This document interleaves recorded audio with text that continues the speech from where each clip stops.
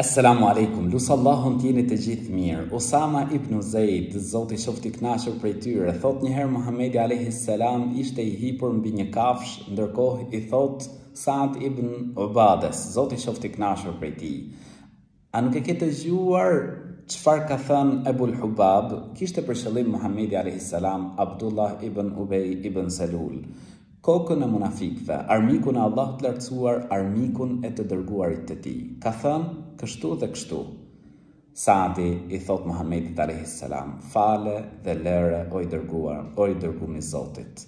Muhamedi alejhi selam e fali atë.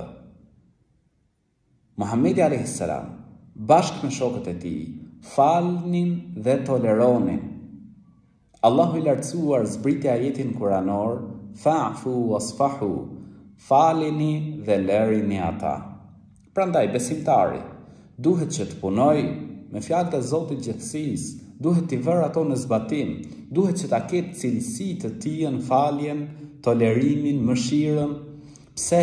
Sepse ne ndjekim Muhammedin alejhi selam, i cili falte, i cili toleronte, i cili mëshironte. Imagjinoje falja e Muhammedit alejhi selam për armiqtë e tij. Pra i falte ata, po për miqtë, po për shokët, po për familjarët, po për fisin tënd. Prandaj, vëllai im, motra ime, fal, tolero dhe shpreso shpërblim tek Allahu i Lartësuar.